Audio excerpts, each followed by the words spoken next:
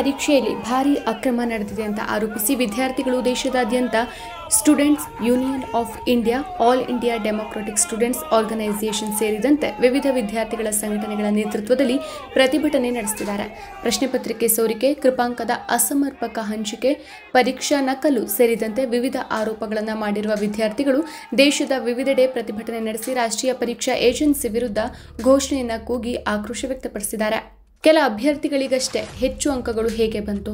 ಒಂದೇ ಪರೀಕ್ಷಾ ಕೇಂದ್ರದ ಆರು ಅಭ್ಯರ್ಥಿಗಳು ಸೇರಿದಂತೆ ದೇಶದಾದ್ಯಂತ ಅರವತ್ತೇಳು ಅಭ್ಯರ್ಥಿಗಳು ಪ್ರಥಮ ರ್ಯಾಂಕ್ ಹಂಚಿಕೊಳ್ಳಲು ಹೇಗೆ ಸಾಧ್ಯ ಆಯಿತು?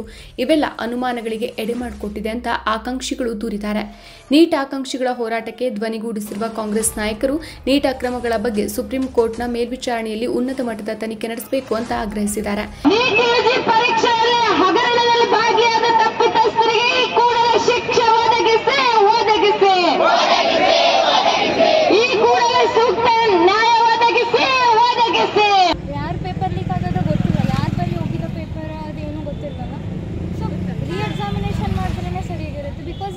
ಆಗಿರೋ ಪೇಪರ್ನ ಮತ್ತೆ ರಿವ್ಯಾಲ್ಯೂಯೇಷನ್ ಮಾಡ್ತಾರೆ.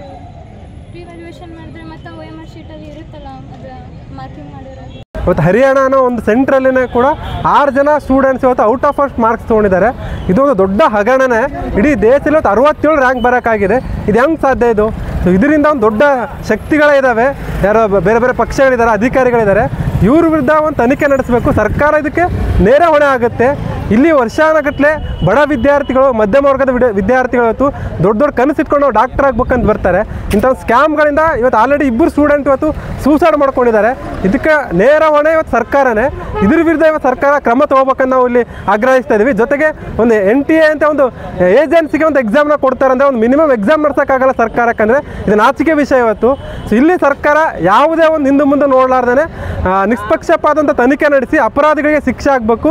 ಮತ್ತು ಈ ಥರ ಯಾವುದೇ ಘಟನೆಗಳು ಮರುಕಳಿಸದಂತೆ ಸರ್ಕಾರ ಜವಾಬ್ದಾರಿ ತಗೋಬೇಕಂತ ನಾವು ಇಲ್ಲಿ ಆಗ್ರಹಿಸ್ತಾ ಇದ್ದೀವಿ ಸರ್ಕಾರ ಇದು ಎಲ್ಲ ಅನ್ಯಾಯ ನಡೆದಿದಲ್ವಾ? ಇದು ಎಲ್ಲ ತಡೆಗಟ್ಟಬೇಕು. ಇದು ಯಾವ ಬಡು ಬಡ ಮಕ್ಕಳಿದ್ದಾರೆ ಯಾವ ಕಷ್ಟಪಟ್ಟು ಓದುವಂತ ಮಕ್ಕಳಿದ್ದಾರೆ ಅವರಿಗೆ ನ್ಯಾಯ ಬೇಕೇ ಬೇಕು. ನೀಟ್ ಪರೀಕ್ಷೆಯಲ್ಲಿ ಹಗರಣವಾಗಿದೆ. ಏನ ಉನ್ನತ ಮಟ್ಟದಲ್ಲಿ ತನಿಖೆ ಆಗ್ಬೇಕು, ಹಾಗೆ ಏನು ಇಬ್ರು ವಿದ್ಯಾರ್ಥಿಗಳು ಸಾವನ್ನಪ್ಪಿದ್ದಾರೆ ಅಂದ್ರೆ ಸೂಸೈಡ್ ಮಾಡ್ಕೊಂಡಿದ್ದಾರೆ ಅವರಿಗೆ ಸರ್ಕಾರ ಸೂಕ್ತವಾದಂತಹ ನೀಡಿ ನಮಗೂ ಆಸೆ ಇದೆ ಡಾಕ್ಟರ್ ಮಾಡಬೇಕು, ಮೆಡಿಕಲ್ ಫೀಲ್ಡಿಗೆ ಹೋಗ್ಬೇಕು ಅಂತ. ಆದ್ರೆ ಇಲ್ಲಿ ಅರವತ್ತೇಳು ಜನ ರ್ಯಾಂಕಿಂಗ್ ಬಂದಿದೆ. ಮುಂಚೆ ರ್ಯಾಂಕಿಂಗ್ ಅಂತ ಬಂದ್ರೆ ಎಲ್ಲೋ ಮೂರ್ ಜನ, ನಾಲ್ಕು ಜನ ಒಂದು ಸ್ಟೇಟಲ್ಲಿ ಒಬ್ರೋ ಇಬ್ರು ಅಂತ ಬರ್ತಾ ಇದ್ರು. ಆದ್ರೆ ಅರವತ್ತೇಳು ಜನ ರ್ಯಾಂಕಿಂಗ್ ತಗೊಂಡಿದ್ದಾರೆ. ಅದರಲ್ಲಿ ಎಂಟು ಎಂಟು ಜನ ಒಂದೇ ಎಕ್ಸಾಮ್ ಒಂದೇ ಒಂದೇ ಸೆಂಟರ್ ಇಂದ ರ್ಯಾಂಕಿಂಗ್ ಬಂದಿದ್ದಾರೆ. ಆರು ಜನ ಮಕ್ಕಳು ಒಂದೇ ಅಕಾಡೆಮಿಯಿಂದ ಅರವತ್ತೇಳು ಜನ ರ್ಯಾಂಕಿಂಗ್ ಅಲ್ಲಿ ಆರು ಜನ ಮಕ್ಕಳು ಕೂಡ ರ್ಯಾಂಕಿಂಗ್ ಬಂದಿದ್ದಾರೆ. ಇದಕ್ಕೆ ನಮಗೆ ನ್ಯಾಯ ಬೇಕು. ಅದಕ್ಕೆ ನಾವೆಲ್ಲರೂ ಈ ಮಳೆಯಲ್ಲಿ ಪ್ರತಿಭಟನೆ ಮಾಡ್ತಿದ್ದೀವಿ. ಮರು ಪರೀಕ್ಷೆಯನ್ನು ಮಾಡಲೇಬೇಕು. ಯಾಕಂದ್ರೆ ಎಲ್ರಿಗೂ ತುಂಬಾ ಅನ್ಯಾಯ ಆಗ್ತಿದೆ. ಅದರಿಂದ ನಾವೆಲ್ಲರೂ ದೂರ ಕೊಡ್ತಾ ಇದ್ದೀವಿ. ಈ ಮಳೆ ನಾವೆಲ್ಲ ಪ್ರತಿಭಟನೆ ಮಾಡ್ತಿದ್ದೀವಿ. ವಿದ್ಯಾರ್ಥಿಗಳ ಭವಿಷ್ಯದಲ್ಲಿ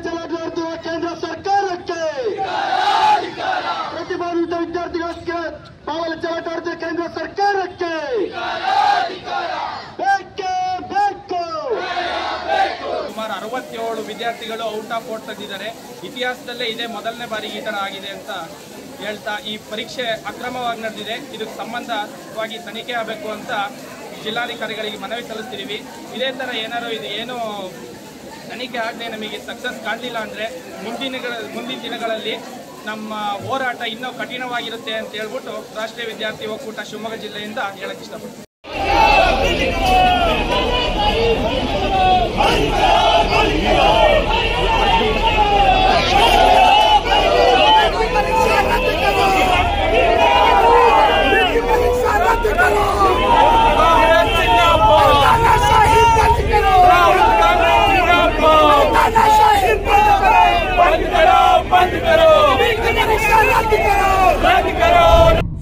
ಮತ್ತಷ್ಟು ವಿಶೇಷ ವಿಡಿಯೋಗಳನ್ನು ನೋಡಲು ಮತ್ತು ಹೊಸ ವಿಡಿಯೋಗಳ ಬಗ್ಗೆ ತಿಳಿಯಲು Ee Dina dot com YouTube channel subscribe ಮಾಡಿ ಮತ್ತು ಬೆಲ್ ಐಕಾನ್ ಕ್ಲಿಕ್ ಮಾಡಿ.